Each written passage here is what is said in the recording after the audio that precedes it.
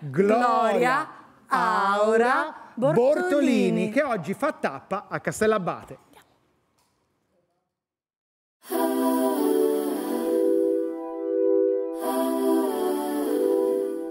Questo non è solo uno dei borghi più belli d'Italia, è anche patrimonio dell'umanità e lo dice l'UNESCO. Siamo a Castellabate, in provincia di Salerno, nel cuore del Parco Nazionale del Cilento. Mi sa che Gioacchino Murat aveva proprio ragione. Qui non si muore mai. Vero Enrico? Certo, Gioacchino Murat aveva proprio ragione. Di fronte a cotanta bellezza ha esclamato questa frase.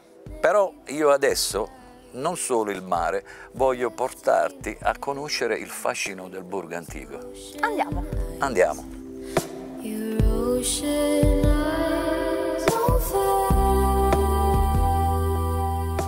Questo è il percorso che ci porta direttamente sul sagrato della basilica romanica del XII secolo. Questa torre campanaria è rimasta intatta attraverso la sua conformazione e la, la bellezza è quella che alle spalle vedi questo sfondo azzurro che è il nostro mare blu.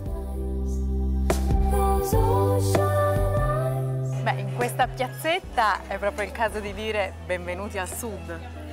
Questa è la piazzetta che è stata la location eh, principale del film Benvenuti al Sud. Tutta la regia ha saputo cogliere la vera essenza del paese.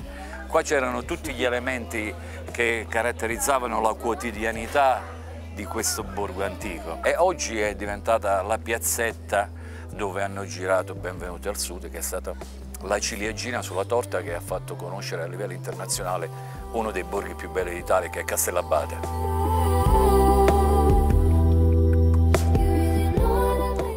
Questa piazzetta?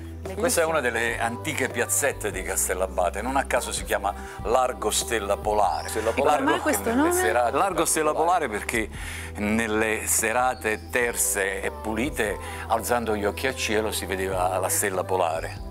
Che poesia! È poesia del borgo. E questo è uno dei gioielli architettonici di Castellabate.